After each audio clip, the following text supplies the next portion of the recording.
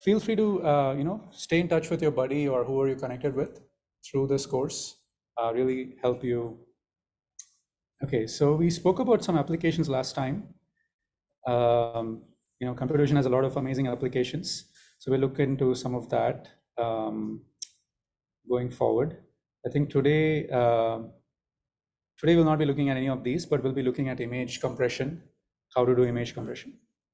So, um, so we are here. Actually, we're somewhere in between these two. So maybe we're here, week two, right? We only had one lecture in week one. Um, so we'll look at some convolution and transforms in this lecture. Uh, okay, I'll put the slide on whenever we meet online, so I can highlight this, and you can, you know, have your cameras turned on. But um, so we also spoke about last lecture some of the things that we'll be touching on in this course. So image processing, denoising, smoothing, classification, and so on. So today we are going to focus on uh, some of this, and I think compression, image compression. Um, we'll go into denoising and smoothing in the next lecture. Yeah, so slowly we're going to go from basic image processing towards learning and using data to learn better from images. Okay, so today um, we'll do an, you know, we'll do some intro for machine learning. And uh, I noticed in the survey that some of us have exposure to machine learning and some of us don't. So if you don't have exposure, this is this will kind of help fill up the gap. Um, and we'll focus on unsupervised learning for today. Right? So what is machine learning? Um, machine learning in short is uh, learning from examples, learning from data, right? We looked at the example of a kid learning to identify an apple from a set of objects, right? That's an example of data-driven learning. So uh, in machine learning broadly, there's like two to three different boxes that you can put methods into. One is supervised learning, right? Okay, this is an apple, this is a bottle, this is this. So I'm giving labels to different data points and then using those labels to train, validate, and test. So that is supervised learning. Unsupervised learning, you don't have labels, right? So you say, okay, I see this. I don't know what to call it, but I see it. I see this. So even in just seeing things, you can learn something. Like without someone telling you, like I walk into a room and I'm like, I see a table, I see a bottle, I see a bag, right? I see you guys. I have no idea what to put, like, I don't know what name to put to you guys or to these objects, but just knowing that these things are there, I can learn something. So that is unsupervised learning, right? So it's pretty fascinating. So a couple of things that fall under unsupervised learning is clustering uh, and dimensional reduction, right? So clustering is, again, I have a bunch of images of different categories. And I don't know what the categories are, but can you cluster them so that images in one cluster have the same category? But you don't know what the category is. Maybe you have flowers, you have plants, you have dogs, you have people, right? Maybe you can cluster them, but you may not be able to say what it is. But that is still useful to know that this is some cluster that's different from that cluster. If you are doing supervised learning, you would actually put a label to it as well, right? So that is clustering. So we'll look at clustering probably uh, next lecture. So we may not have time today, but next lecture we'll look at clustering. So today we'll focus on this uh, dimensionality reduction. So machine learning, unsupervised learning, within that, we're going to be looking at dimensionality reduction today. So dimensionality reduction is basically, you know, something that you might have seen before, compressing data signals, right? There are some methods for that. Uh, uh, dimension reduction is also useful for visualization. You want to visualize things, big data. Uh, it says useful for feature extraction and also discovery of structure, like what kind of structure is present in the data. Um, so we'll be focusing on this today. How many of us have been exposed to unsupervised learning before? One, two, three, four. Okay. Okay. Uh, so let's look, look a little bit more about this, right? So supervised learning is you develop predictive models based on input and output data. So this is another way of thinking about it. You have you have an input, and then you have an output, and you have this pair, right? So maybe you have like I1, O1, I2, O2, I3, O3, and so on. So this would be your maybe train or uh, let's say train set. So you have always have pairs in supervised learning, you have pairs of data points. An input is always associated with an output. The output could be anything. It could be a class. Hey, here's an image of a bottle, right? This is a bottle.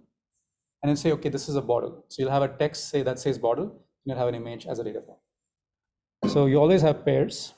In unsupervised learning, um, you only have inputs. So you'll have I1, I2, I3.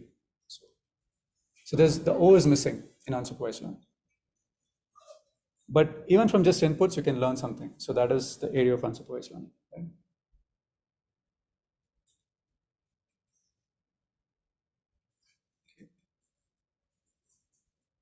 Yeah, so supervised learning, um, so we're going to be looking at unsupervised learning today.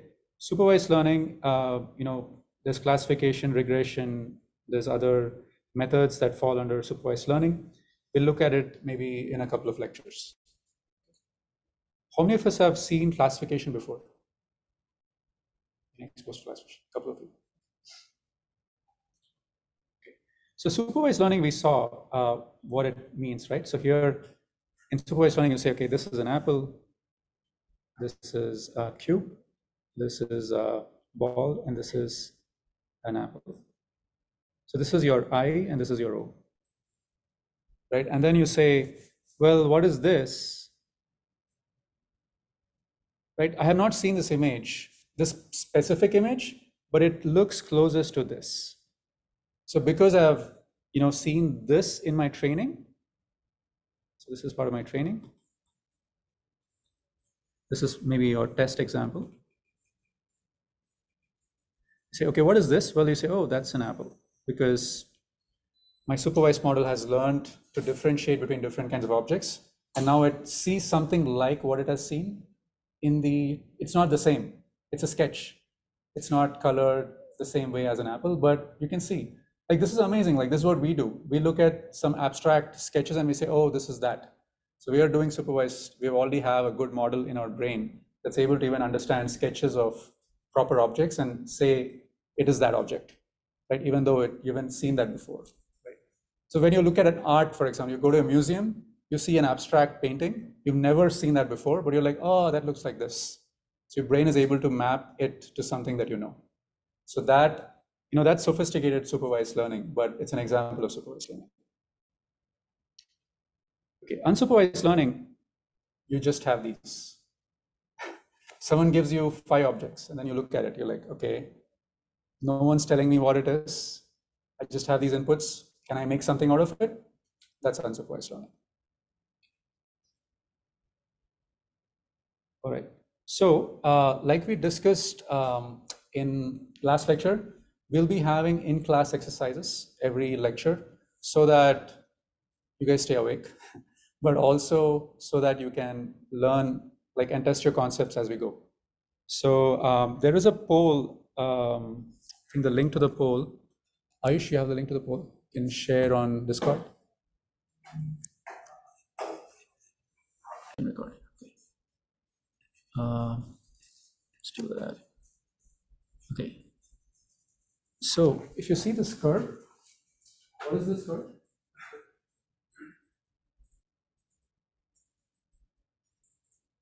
It's a curve of singular values. This is the highest singular value, and the singular value started trail, they go towards zero for image. So that is something that you compute based on SVD. So you can just type SVD in Python or MATLAB. Let's not use MATLAB. Let's say Python, you'll get the singular values. And they usually have this kind of hyperbolic shape.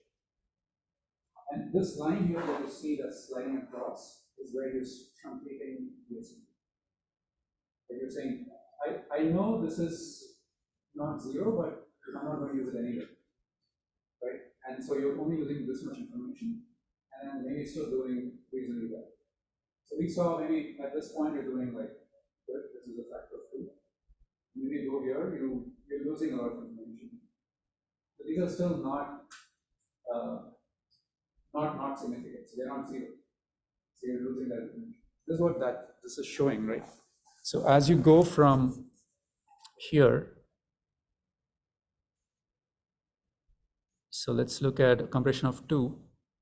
Okay, so at a compression factor of two, we are at this point on the left where the cursor is. So anything to the right, you ignore that information. But you still have a lot of information to the left. So what you see from this is there's a lot of useless information sitting in there that you can just truncate. Or I wouldn't say useless, but insignificant information or not as significant. But the significant ones are here.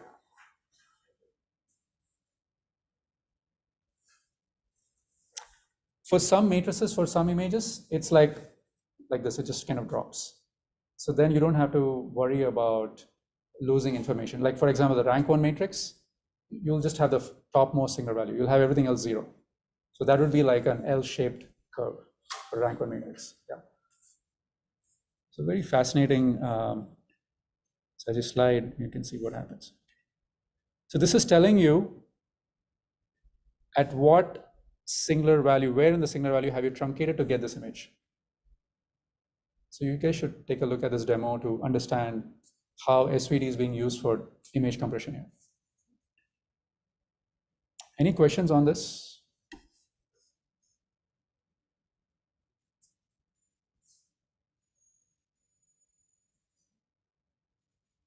Let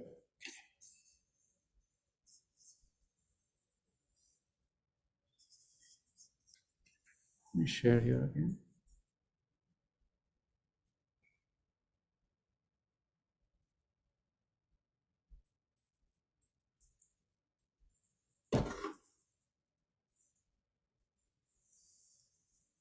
So this is the really amazing thing. You know, you take this matrix X and then I have these factors u um, sigma and then maybe v transpose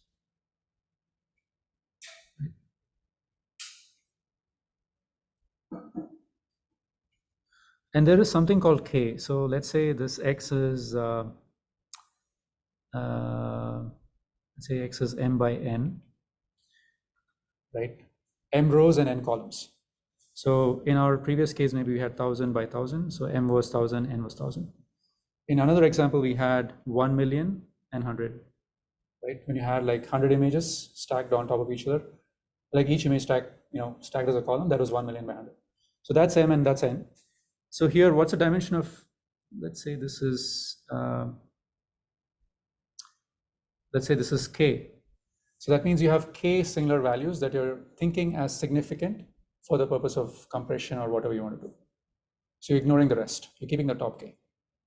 So you can decide what k is, and that's what you saw earlier. Like as you slide, you're increasing or decreasing k. So k is a number of significant values. So that will be the dimension of the number of columns, right? So the row dimension is still going to be m, m by k. What's the dimension of sigma?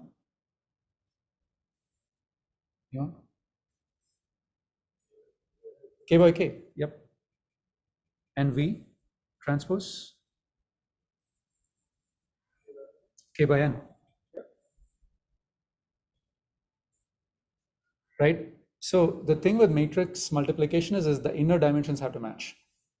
If you multiply these two matrices, M by K and K by K, if the inner dimensions don't match, you've got it wrong. They always have to match. The same thing here, k by k, k by n. So, but you might make a mistake on the outer dimensions too. But at least check the inner dimensions and make sure you have them matching. Okay, so these these are your singular vectors, right? And these are singular values. Okay, so you can see that if I actually did a full SVD, it would be m by m, and then m by n, and then n by n, something like that. So instead of having m by n, you're having m by k, right? Does that make sense? So for instance, this is, um, let's call it U tilde here, U tilde, sigma tilde, and V tilde. So let's say I want to compare U and then U tilde. So U tilde is M by, uh, hmm, let's say M by M. Eh, sorry, U is U, M by M. U tilde is M by K. What is the compression factor here?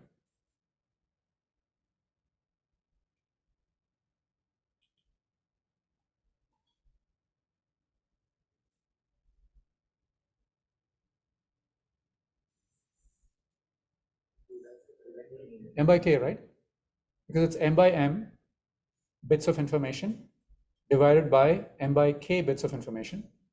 So it gives you M by K. Right? If like M was like 100 and K was 10, you have a compression factor of 10. So you're compressing your image by a factor of 10. Right? That's just for you. You have to do the same thing for sigma and V. And then that'll give you the total compression factor. Right? So instead of storing u sigma v, you store u tilde sigma tilde v tilde, and you can use it to reconstruct the image. So on your device or wherever, you'll only store these uh, compressed versions, and that's the compression factor you're going to get. Yeah. So this is one application of SVD. There's many applications of SVD, but for images, this is like a really cool application. So our next in-class exercise is based on that. Um, so you can actually work on and you know just look at the details of this and identify. Um, so here, what we're doing is you want to pick the number of signal vectors that you want to reduce the information to, so that you can get a particular compression factor. Right? So, for instance, here the file size is 20 MB. You want to go to a file size of 5 MB. So at least one. That's your compression factor. So you slide the K so that you can get that factor. So the question is, what is the K? You start at 1000, you're going back towards zero, but somewhere in between, you'll be like at the right place where you get 5. Does that make sense? So just what I would do is write down those U sigma V transpose and do that math. That'll give you the conversion. So just write down the U sigma V transpose. See.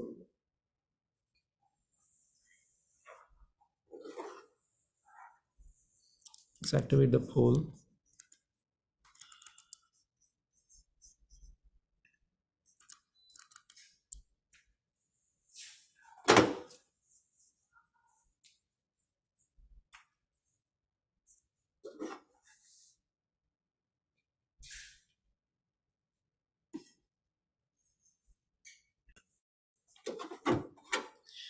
Um, so what's the intuition here? So let's look at two scenarios. Uh, there's no compression. So this means you have 1000 by 1000 pixels, right? So this is the information that you have. So you need to store so much. Okay. Let's say I did compression. Then the information I need to store is 1000 by k. This is for u tilde plus k by 1000. This is for v tilde transpose. Right, the rightmost matrix, the leftmost matrix. The one in between, I need to store k. But k is insignificant as compared to k times 1000. So you can say this is roughly 2 times k times 1000. Okay. So what we're saying is, let's say this is um, info 1 and this is info 2. So you're essentially saying info 1 divided by info 2 should be equal to um, 20 divided by 5. Right? Because you want a compression from 20 MB to 5 MB, that's a factor of 4. So you want the information to also compress by a factor of 4. So we just put plug it in. We say this is 1000 by 1000 divided by 2k 1000. So this implies k is um, 1000 by, oh, it's actually a different answer. It's 125. Yeah? Does that sound good?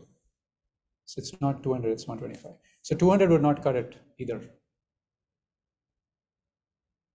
So your K has, K, K can be 125 or lower to compress to four by a factor of four or more. Does that make sense? Yeah.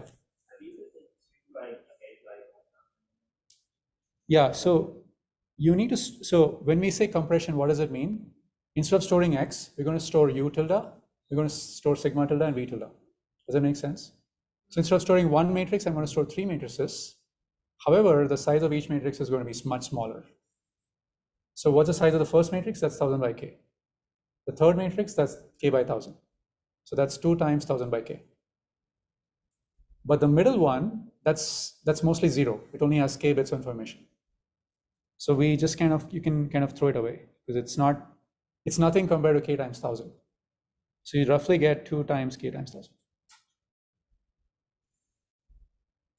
So your k has to be, so what does this imply? It means your k has to be less than 125 to get desired compression.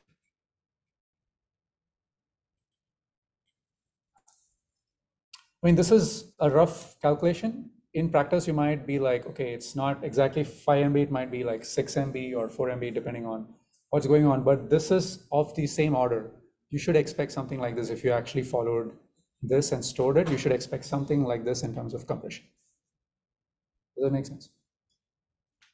Okay, uh, I know it's a little bit late, but maybe we, let's still take a break. If someone needs to use a restroom or something, we'll be back in like three, four minutes. Then we'll go to that.